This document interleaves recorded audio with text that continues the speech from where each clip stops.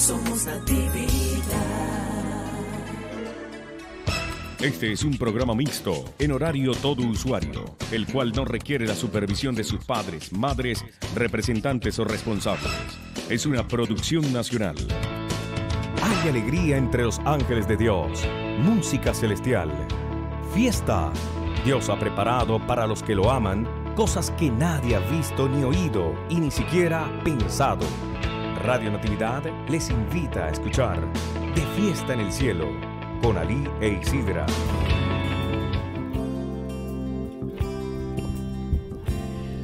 Bajo la bendición del Dios de Israel, con la protección del Espíritu Santo, la dirección de la administradora Virgen María de Jerusalén, a esta hora, eh, Ali e Isidra, sí señores. ¿Quién es Isidra? Isidra en el cielo, pero Scarlett está en Brasil y desde allá vamos a estar haciendo radio. Eh, en algún momento el Señor nos da la oportunidad de, de saber que el Señor quiere hacer también en el cielo, porque en el cielo también hay manifestaciones muy especiales. ¿Por qué? Porque Dios quiere que- que sepan que hay calles de oro, que hay mar de cristal, que por esas calles mm, yo voy a caminar. Sí, Señor, dígalo, dígalo, yo voy a caminar. ¿Por qué? Porque ya no le tenemos miedo a la muerte porque sabemos a dónde vamos a ir y no nos vamos a dejar robar. Oiga, no me voy a dejar robar el cielo. No, no, no, no, no, no, no. Yo voy a ir al cielo. ¿Por qué? Porque soy bueno. No, bueno Dios. Tanto amó Dios al mundo que entregó a su Hijo único para que todo el que, él- en él crea no se pierda, mas tenga vida eterna. Eterna. Uy, la eternidad. Mire, entonces vamos a hacer esta oración para que ustedes tengan este- esta confianza. Eh, oración de en Efesios 3:14. Vamos a ver si nos la ah, memorizamos. En algún momento la vamos a memorizar. Digan conmigo. Por esta razón me pongo de rodillas delante del Padre. Diga. Por esta razón me pongo de rodillas delante del Padre, de quien recibe su nombre toda familia, tanto en el cielo como en la tierra. ¿Sí? ¿Lo repitió? A ver. Por esta razón me pongo de rodillas delante del Padre, de quien recibe su nombre toda familia, tanto en el cielo como en la tierra. Pido al Padre, pido al Padre que de su gloriosa riqueza me dé, díganlo en primera persona, me dé interiormente poder y fuerza por medio del Espíritu de Dios. ¿Me dé qué? Poder y fuerza por medio del Espíritu de Dios. Que Cristo viva en mi corazón por la fe. A ver. Que Cristo viva en mi corazón por la fe. Que el amor sea la raíz y el fundamento de mi vida. Y que así pueda comprender con todo el pueblo santo cuán ancho, largo, alto, profundo es el amor de Cristo. ¿Cómo? Que así pueda comprender con todo el pueblo santo cuán ancho, largo, alto, profundo es el amor de Cristo. Pido pues que conozca ese amor que es mucho más grande que todo cuanto pueda conocer, para que llegue a colmarme de la plenitud total de Dios. Y ahora, gloria sea a Dios, que puede hacer muchísimo más de lo que nosotros pedimos o pensamos. Y ahora, gloria sea Dios, que puede hacer muchísimo más de lo que nosotros pedimos o pensamos. Gracias a su poder que actúa en nosotros. Gloria a Dios en la iglesia y en Cristo Jesús por todos los siglos y para siempre. Amén. Esta es la oración de Efesios 3, 14, para que la hagamos siempre. Y en esta traducción de Dios habla hoy, es una traducción muy, muy sencilla y, bueno, a, a- a mi, a, mi, a mi lenguaje. Entonces, estamos con... el- sí, está Isra- es- es- Isidra, no, Isidra en el cielo. Sí, sí, vamos a comunicarnos con Isidra, con Scarlett Isidra en Brasil, do Brasil. Adelante. Buenos días, bendición, ¿cómo estás? Ay, mi amor, ¿cómo cómo buenos es- días. ¿Cómo estás, mi amor? Tan linda, preciosa. Mm, mm, mm. Besito, besito para ti, mi amor. Te quiero mucho. Buenos días. Y Yo también, mire, no ¿Cómo importa, hágame el favor y me le da besos también a su esposo. Dígale que se los quiero dar también porque ese es hijo, ¿sí? Porque imagínense Bueno, el- lo que el Señor me ha regalado el gran hombre, el gran esposo para mi hija. No, eso es un regalo de Dios. Entonces, ¿qué más quiero? ¿Para dónde voy a coger con esa patinchada? Dijo alguien por ahí. Eso es dicho suyo. Bueno, padrecito, bendición, ¿cómo estás? Qué bueno que estás contento hoy. No nos habíamos podido comunicar en la mañana, eh, no, no, pudimos comunicarnos, pero qué bendición que a través de Radio Natividad podemos comunicarnos y podemos llevar el mensaje. Estabas hablando de, de la importancia de, de, de la salvación, de entender que nosotros tenemos en el reino de los cielos esa promesa de ver lo que son las calles de oro, mar de cristal. Y es que desde acá, desde la tierra, cuando nosotros rezamos el Padre Nuestro, nosotros estamos eh, diciendo, venga a nosotros tu reino. O sea que cuando nosotros empezamos a, vivir esa gracia de vivir en el Espíritu, empezamos a, a, sentir o a vivir o a experimentar lo que es el anticipo. Hay un, hay un texto en la palabra, creo que es también en Efesios, donde habla que, que es vivir el anticipo del cielo acá. Nosotros podemos vivir esa, ese comenzar a vivir ese reino de los cielos acá en la tierra con cada uno de nuestros hermanos, con nuestra familia, con la experiencia que el Señor nos va dando. Cuando nosotros empezamos a acercarnos más al Señor, empezamos a vivir el reino de Dios desde acá también. Esa es la promesa también. Y por eso es un anticipo del reino. Dime. Por eso, mi amor, es que necesitamos estar eh, tarareando.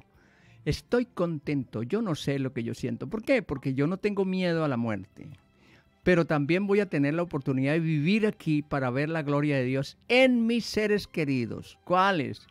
Toda la gente, los que están bravos conmigo y los que están contentos y los que y mis hermanos de la fe y, y los que no le gustan el estilo mío, pero pero pero están ahí y son de la comunidad.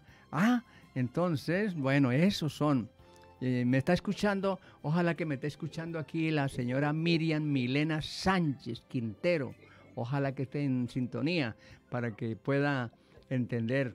Y si no, que le pregunte a la señora mm, Betty para que puedan nosotros mm, tener este momento de comunicación en la dimensión del espíritu. No entendemos por qué eh, tarareamos y, y, empezamos a ser como, como loquitos. Hoy todo me parece más bonito. Hoy canta más alegre el ruiseñor. Hoy siento la canción del arroyito y siento cómo brilla más el sol. Estoy contento. Eso es lo que yo necesito estar. No me dejo robar el, el ¿cómo se llama eso? No, no quiero dejarme robar la... El gozo. ¿Ah? ¿El qué? El gozo, la paz, la presencia de Dios. Ajá, no, no, no, no me la puedo dejar robar. ¿Por qué no me la puedo dejar robar? Porque es la bendición que el Señor nos regala para que nosotros estemos en esa bendición de, de lo que el Señor quiere hacer en cada uno de nosotros. Eh, vamos a una pausa y bueno, usted no, usted no, usted no nos saludó a esta niña linda que tiene un niño lindo. Andy. Y, ¿ah? Andy. Ah, y la saludaste. Sí. No ah. la saludé. Un saludo para Andy que nos aporta todo su conocimiento con la música y, y bendiciones para Luciano, que se llama el niño. Luciano, aleluya. Mire, eso sí está bueno. Mire cómo se sonrió de una vez cuando le, le tocaron la tecla. Mire, las mamás, esas son las mamás. Bendito sea Dios. Oiga, acuérdese que Luciano tiene que aprender a, a tener ya novia. Y la primera novia es la mamá. ¿Quién le da a uno una sonrisa? ¿Quién le viene y le canta un canto? ¿Quién le viene y le dice, despierta, mi amor, porque, porque está dormido todavía? Pum, pum, pum, pam, pam, pam, pim, pim, pim, papán. Bueno, vamos entonces a la música y volvemos. El pecado va contra Dios, porque ofende la verdad y la santidad del único. Pero Él es también Padre, y por más que el Hijo peque, peca ante Él que saca el bien del mal.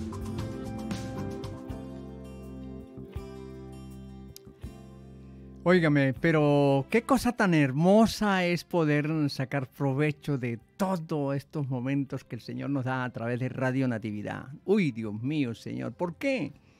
Porque nos están escuchando gente que necesita tener la ternura para, ¿cómo ternura? ¿Cómo es eso de ternura? Ay, caramba, va, va a volverse ahora una mamá. No, es que tienes que ser como una mamá. Usted tiene que empezar a tener ternura con sus subalternos. Oiga, ¿está escuchando, amigo? Sí, los subalternos suyos, sus empleados, las personas que tiene a su cargo. Esas personas tienen que aprender a tratarlas. ¿Por qué? Porque necesita tener un tono de voz agradable, no un tono de voz regañón. Para regañones, no, hombre. Bueno, Nos encontramos por ahí en la calle alguien que nos regañe, pero o nos toque la corneta y nos haga poner, Dios mío, Señor Jesús. No, necesitamos tener ternura, la ternura que nos da el Señor y esa ternura nos la da cuando tú comienzas a entender que tú, que estás joven y escuchando Radio Natividad, puede darle ternura a su niño, ¡uh! a su niña. ¡uh! Entonces, ¿qué sucede con ese niño, esa niña? O ese niño grande también, porque el esposo, ¿oyó? ¿Me está escuchando? El esposo también es un niño, un niño malcriado. Y ahí que tú sabes, y bueno, entonces cuando se tiene, eh, ¿cómo se le puede dar un, cariño? Bueno, le, usted le sirve un cafecito a, a- su esposo, no tiene más nada que darle y entonces le da un cafecito y entonces en un platico con una servilletica y como todo un señor y le y- ah y entonces qué hace ese ese hombre tendrá estará muy bravo pero se tiene que por dentro sonreír. No el orgullo no no no no le permite sonreírse a lo mejor porque está bravo. Pero tú le haces una atención. Entiende Méndez o le explico Federico ah entonces eso es con con las mm, señoras de la casa que pueden ser convertirse en la novia de un, de un niño, Dios mío, de un varón, a la novia. Las primeras sonrisas, la primera ternura, el tono de voz, la alegría. Entonces, pase adelante, doña eh, Isidra. Es Carla Isidra. Perdón, Scarla Isidra, estoy pensando que estoy hablando con Isidra. En el cielo. Yo, bueno, es que uno tú sabe que Está en el cielo. Está en el cielo. Sí, Ya. sí. Bendito Sí, sea. Señor. A ver. Como la confianza y la esperanza en el Señor, que para todos es el reino de los cielos. Bien, hoy, hoy queríamos compartir el, en, el, en el Evangelio de hoy, de, mm, en el capítulo 9, del versículo 1 al 8. Vamos a buscar Mateo, capítulo 9, del 1 al 8. Voy A comenzar a leer mientras lo buscas ahí, Padre, lo Mateo, tienes a mano. Mateo 8. Mateo no, capítulo 9. capítulo 9, del Mm. versículo 1 al 8. Ah. Dice, eh, comienzo, comienzo a leer. Dice, eh, después de esto, Jesús subió a una barca, pasó al otro lado del lago y llegó a su propio pueblo. Vamos a dejarlo hasta ahí. Voy a leer. Después de esto, Jesús subió a una barca, pasó al otro lado del lago y llegó a su propio pueblo. Des- Llegó a su propio pueblo. Ok, vamos a, a dejarlo ahí porque fíjense que estamos hablando de que él dice, aquí dice en el texto, dice, se subió a la barca, pasó al otro lado del lago. Entonces vamos a hablar hoy niveles de la fe, niveles de fe. ¿Cuáles serían esos niveles de fe? Nosotros eh, en estos textos, en el texto anterior estábamos hablando de lo que significa eh, tener paz en medio de la tormenta, ¿no? Estábamos hablando algo de eso.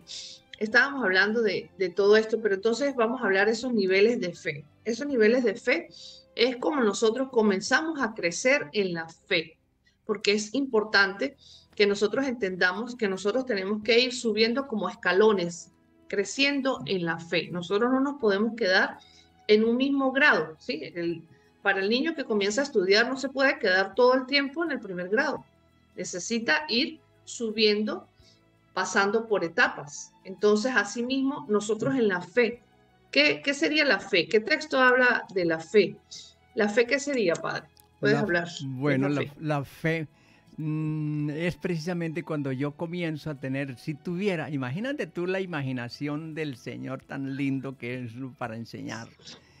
Ga- Agarra un granito de, de- de- de- de mostaza que es tan pequeño y Ajá. entonces nos señala y nos dice, si tuvieran fe como un granito de mostaza, tú le dirías a esa montaña, quítate de ahí y eso sucedería. ¡Jujú! ¿Por qué, Así es, por qué el así Señor es. nos hace esa ilustración?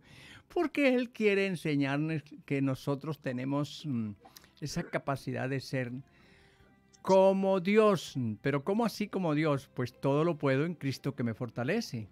Si Jesucristo está en mí, yo puedo dejar que eh, el Señor Jesucristo actúe en mí.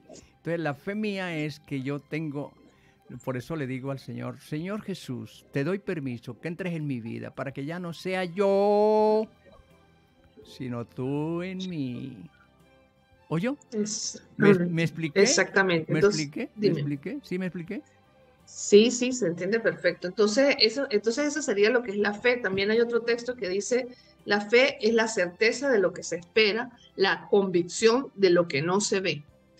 Entonces, nosotros necesitamos eso, tener un crecimiento en la fe, porque no nos podemos quedar con, con un nivel tan pequeñito. Sí, fíjate que el Señor enseñaba con las diferentes parábolas, era para enseñar a un pueblo que ciertamente estaba comenzando y él necesitaba eh, enseñarle de una manera muy sencilla y qué sabiduría tan grande para poder enseñar de esa forma, de esa manera, eso tan, tan sencillo, pero les llegaba. ¿Por qué? Porque era lo que ellos veían el día a día. O sea, ellos, eh, si él hablaba de, de la siembra, de la cosecha, de la semilla de mostaza, de la higuera, de, o sea, cada parábola de la oveja perdida, de la moneda, de la moneda que era encontrada, del hijo pródigo, o sea, cada, cada una de esas historias, porque parábolas, que se le llaman parábolas, era una manera de enseñar con lo del día a día, lo cotidiano, porque ellos, eso era lo que ellos veían día a día, entonces esa era su manera de enseñar. Pero entonces,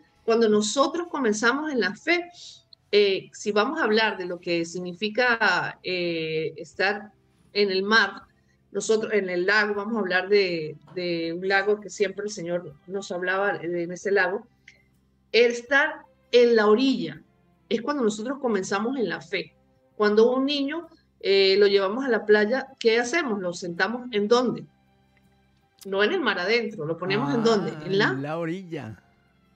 en la orilla. Y entonces, ¿qué hace ese niño? Bueno, ahí juega con su palita, hace sus castillos, hace su, lo que él le gusta jugar, chapalea un poco los pies, se moja los pies, todo. Pero él está ¿dónde? En la orilla. En la Entonces, orilla. Eso es, y estamos a eso punto es de ir nivel de fe. estamos a punto de ir a la música porque necesitamos estar en esta onda de, eh, mm, bueno, estar ubicados en este Perfecto. programa y el tiempo precioso Perfecto. que Angie está cuidando. Fiesta. Dios ha preparado para los que lo aman cosas que nadie ha visto ni oído y ni siquiera pensado. Cosas que nadie ha oído ni siquiera pensado. ¿Por qué? Porque nosotros tenemos una dimensión aquí, en, en el aquí y en el ahora. No podemos entender que vamos a ir más allá. No, hombre, imagínese cómo se puede imaginar usted cómo Isidra se imaginaba calles de oro y mar de cristal. Y eso lo estaba mencionando cada vez porque ella sabía dónde iba a ir y no solamente mm, que lo predicaba, sino que lo experimentaba. Esa paz que sobrepasa todo entendimiento y que yo pude mm, darme cuenta. Pero mira, Isidra, eh, Scarla Isidra, estoy hablando con Scarla Isidra en Brasil. Eh, Isidra, Ajá. dice el versículo 9, en el capítulo 9 de San Mateo, versículo 1, Ajá. dice, después de esto, Jesús subió a una barca, pero mire que dice, después de esto, coma, después de esto, oiga, después de esto, ¿cómo que eso después de esto? Porque tú te tienes que tener una eh, guía de saber que tiene que dejarse guiar por el Espíritu Santo, porque resulta que venimos de, un, de una experiencia tremenda. Eh, dice aquí cuando Jesús llegó al otro lado del lago, eh, a, la, tierra de Gadara, dos endemoniados, dos endemoniados salieron entre las tumbas, se acercaron a él, eran tan feroces que nadie podía pasar por aquel camino y se pusieron a gritar, no te metas con nosotros, hijo de Dios, viniste aquí para atormentarnos antes de tiempo. A cierta distancia de allí había muchos cerdos comiendo y los demonios le rogaron a Jesús, si nos expulsa, déjanos entrar en esos cerdos. Uy, hasta dónde llegó el, la situación de, esos endemoniados. Entonces, ¿qué, ¿qué, sucedió después de esto? Entonces, ahora sí sabemos porque dice en el capítulo 9 de San Mateo, después de esto, después de esto, oigan, oigan, dice que usted no me eh, no quiso, sino que leyéramos nada más, sino el versículo 1. Después de esto, Jesús subió a una barca, pasó al otro lado del lago y llegó a su propio pueblo.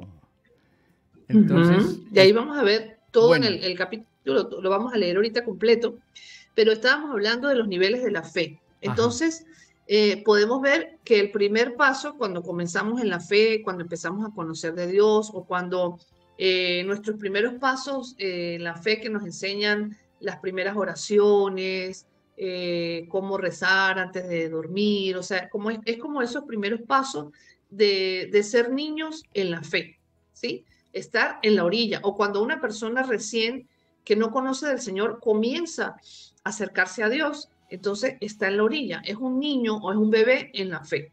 Precisamente nosotros tenemos que tener esa paciencia con esa persona que está comenzando, porque con nosotros tuvieron la misma paciencia para crecer en la fe. ¿Sí?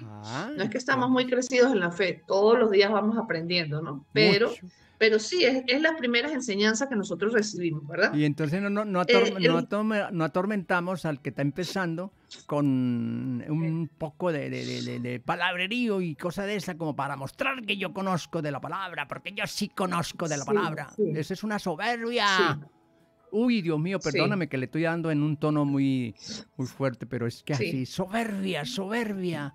Y ese es el cuidado que tenemos que tener porque eh, golpeamos, dañamos eh, este, el, niño, puede ser de 60, de 70 eh, años, ese niño, cuando empezamos a atormentarlo así, mm, cierra los oídos automáticamente y no vuelve a escuchar. Está en la reunión, pero no está escuchando.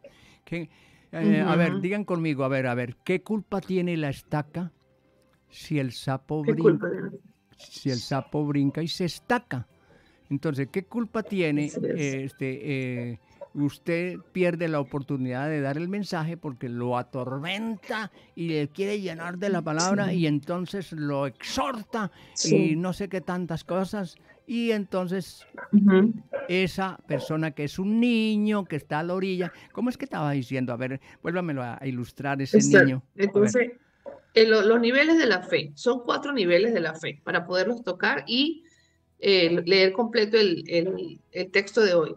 Son cuatro niveles. Estar en la orilla, cuando somos niños y decías que no necesariamente o sea, un niño en la fe puede tener 70 años, puede tener 80 años, puede tener 90 años, pues la edad que sea, la edad no importa, pero está comenzando en la fe y tengo que tener esa caridad o ese amor o esa ternura para ir enseñando también y apoyando a esa persona que está comenzando en la fe. El segundo nivel sería subir a la barca. Subir a la barca. Subir a la barca.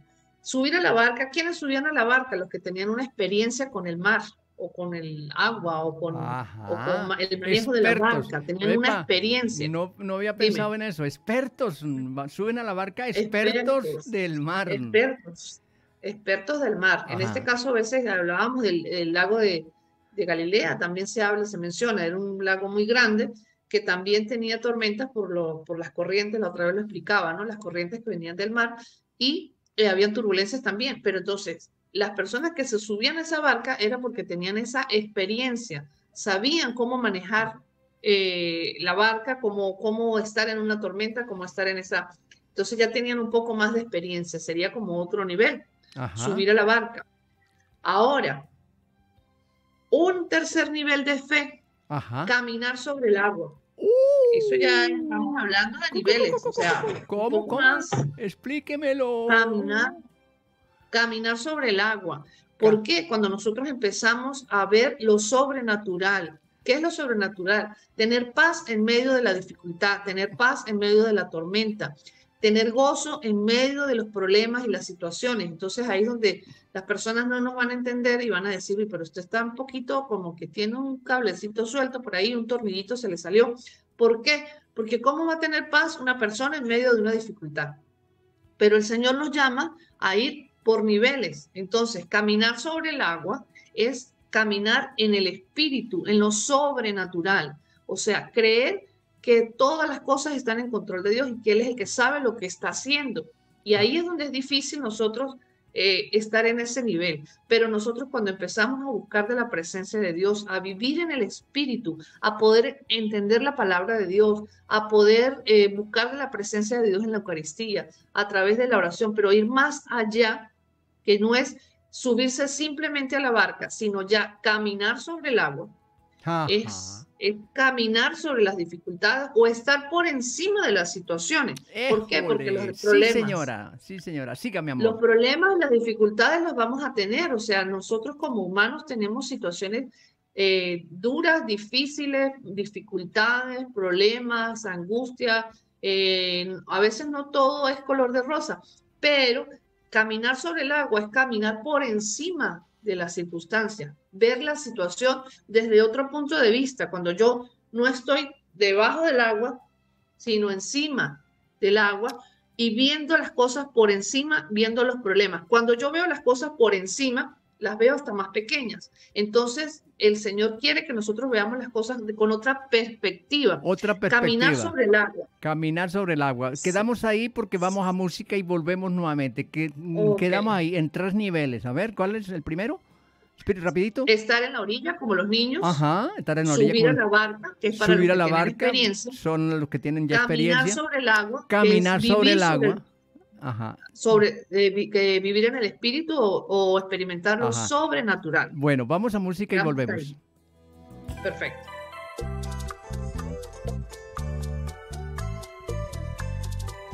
Está presentando De Fiesta en el Cielo.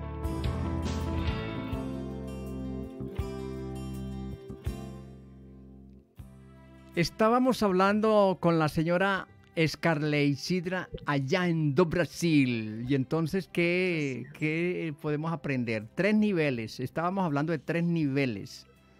Mm, vuélvemelo a repetir porque tú sabes niveles de fe. Serían ah. cuatro niveles. Serían. Y ahorita leemos el texto completo. Niveles de fe. Estar en la orilla como los niños. ¿Sí? No importa la edad. no importa la edad. los niños. Acuérdense que tenemos un niño que le puede, puede estar de 60 años pero es un niño y entonces en la fe. Exactamente. Subir a la barca. ¿Quiénes subían a la barca? Los que tenían la experiencia. Veteranos. Ajá. Okay. Caminar sobre el agua. Caminar sobre el agua. Caminar en el espíritu. Es, es, una dimensión en el, espíritu, en el espíritu, sobrenatural. Eso es caminar sobre el agua. Sigue adelante. esa, sería la segunda. La tercera. Y la, el cuarto nivel cuando dice el primer, el primer versículo que nos quedamos en el primer versículo, ahorita leemos todo el texto, pasar a la otra orilla. pasar a la otra orilla. Pasar a la otra orilla.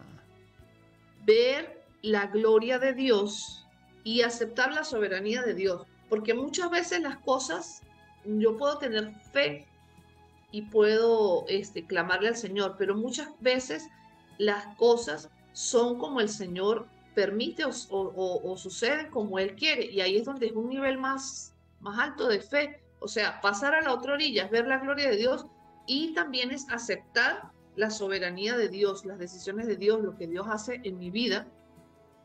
Entonces, eso es pasar a la otra orilla, pasar de la situación, porque la situación no... No se puede quedar, no nos podemos quedar en esa situación, en el pasado. Sí, sí, no se puede quedar en esa situación, pero es salir y ver la gloria de Dios, ¿sí? Pero muchas veces pasar a la otra orilla es otro nivel de fe cuando una persona está orando, está pidiendo por un familiar y la persona se va al cielo. Ahí hay que tener un nivel de fe muy alto para aceptar. Esa es la soberanía de Dios, lo que Dios permitió, lo que Dios hizo.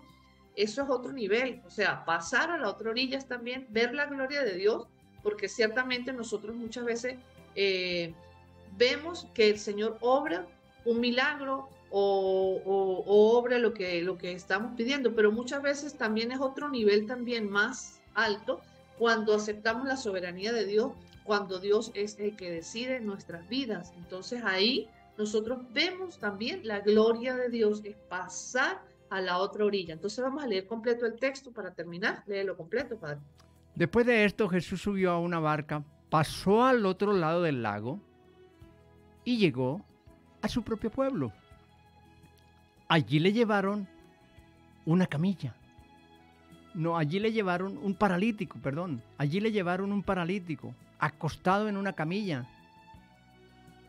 Y cuando Jesús vio la fe que tenían, y cuando Jesús vio la fe que tenían, le dijo al enfermo, le dijo al enfermo, ánimo, hijo, tus pecados quedan perdonados. Ánimo, hijo, tus pecados quedan perdonados. Algunos maestros de la ley pensaron, algunos maestros de la ley pensaron, pensaron, pensaron. ¿Quiénes? Los maestros de la ley. Lo que usted ha dicho es una ofensa contra Dios. Lo que usted ha dicho es una ofensa contra Dios. Pero como Jesús se dio cuenta de lo que estaban pensando, pero como Jesús se dio cuenta de lo que estaban pensando, les preguntó, ¿por qué tienen ustedes tan malos pensamientos? ¿Por qué tienen ustedes tan malos pensamientos? ¿Qué es más fácil decir, tus pecados quedan perdonados? O decir, levántate y anda. Pues voy a demostrarles voy a demostrarles que el Hijo del Hombre tiene autoridad en la tierra para perdonar pecados. Voy a demostrarles, voy a demostrarles que el Hijo del Hombre tiene autoridad en la tierra para perdonar pecados. Entonces le dijo al paralítico, levántate, toma tu camilla y vete a tu casa. El paralítico se levantó y se fue a su casa. El paralítico el paralítico se levantó y se fue a su casa. Al ver esto la gente tuvo miedo y alabó a Dios por haber dado tal poder a los hombres. Palabra del Señor. Gloria, a ti, Señor, Jesús. Jesús. Entonces, ya estamos finalizando con el tiempo.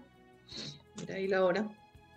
Entonces, fíjense cómo, cómo el Señor obró un milagro dos milagros, podemos hablar, grandes milagros. ¿Por qué? Porque perdonó los pecados de ese hombre. Eh, él ciertamente eh, escuchó o vio los pensamientos que tenían también los doctores de la ley, los maestros de la ley, porque ellos estaban pensando y ellos, él les dijo. Porque, porque mire, escúcheme. tienen esos pensamientos, tan malos pensamientos? Porque, porque Dios puede ir, Jesucristo puede ir a su mente.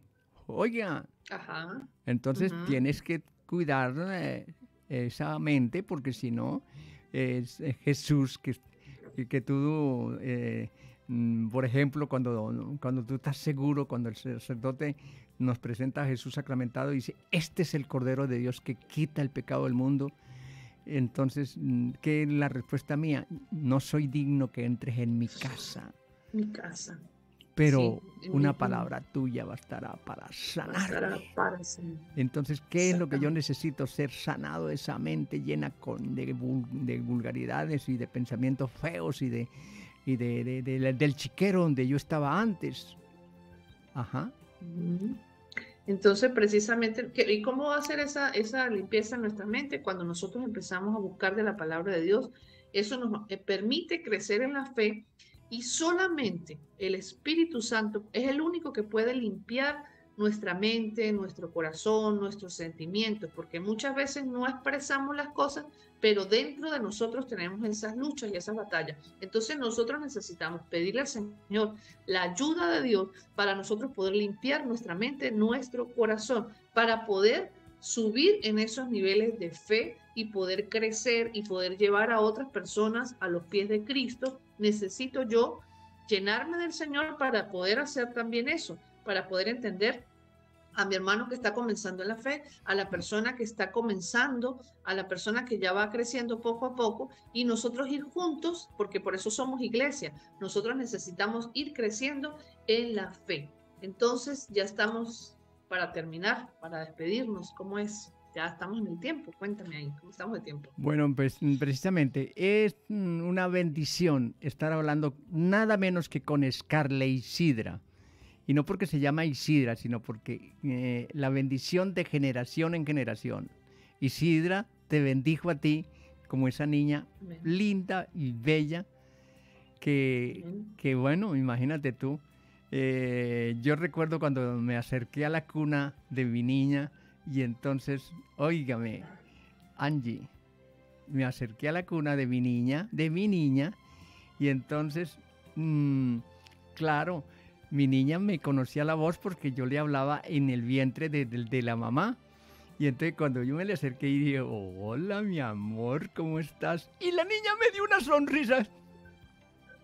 Mm, qué bonito. Pero, pero ¿qué me, ¿por qué me dio esa sonrisa? Porque yo le hablaba a al, al, vientre, al vientre de, de Isidra. Y entonces, ¿qué sucedió? Que la niña me sonrió porque conoció mi voz. Y entonces eh, eso es lo que nosotros, manifestaciones sobrenaturales que nosotros vamos a ver y que estamos descubriendo para no atormentar a nuestros niños desde el vientre de la madre. ¿Oyeron? Así, que, mamá, mamá, no dejo de decirles, acuérdense que la primera novia, yo no dejo de pasar este comercial. A ver, la primera novia que yo tuve fue mi mamá, que me iba y me cantaba. Lo estoy repitiendo porque necesito que los hombres y las mujeres escuchen. Me iba y me cantaba en, en la habitación y me despertaba y me reclamaba. ¿Cómo me reclamaba? Eh, ¿con, ¿Con tono grosero? No. Hola, mi amor, ¿por qué no se ha levantado? Es tarde y usted está durmiendo, no debe dormir a esta hora. Entonces, el tono de voz me hacía entender que yo debería haberme despertado. Y entonces, ¿cómo, ¿cómo creen que ese niño se levantaba? Con la imagen de la novia. Y entonces, por eso yo llegué a encontrar la oportunidad de amar 55 años a mi esposa ¿Por qué? Porque ya tenía una imagen de lo que significa bien ubicada una mujer. Y entonces eh, esa, esa, esa experiencia que yo quiero transmitirles a ustedes. Nos vamos entonces. Nos vamos. Bueno. Eh, despídase del Señor. Eh, bueno, un abrazo para todas las personas y bendiciones para todas las personas que se conectan día a día con este programa de fiesta en el cielo, con la confianza de que tenemos que comenzar a vivir las promesas del Señor desde acá, el anticipo del cielo desde acá, para vivir esa gracia y ese regalo maravilloso que es la salvación. Ah, bueno, mi hijita, linda, preciosa. Hemos estado bajo la bendición del Dios de Israel, con la protección del Espíritu Santo, la dirección de la administradora Virgen María de Jerusalén. A esta hora, eh, Ali e Isidra, sí señor, Isidra en, allá en Brasil, es Carla Isidra y mm, los hijos de Isidra también, este, José Ali en Inglaterra. Y este muchacho que está hablándoles a ustedes de 82 años, muchacho, porque de lo que dices recibes. Muchacho, ¿de 82? Sí, de 82, pero muchacho, porque mm, lo que dices recibe. No daña lo que entra, sino lo que sale de su boca. ¿Entiende Méndez o le explico Federico? Bueno, nos vamos.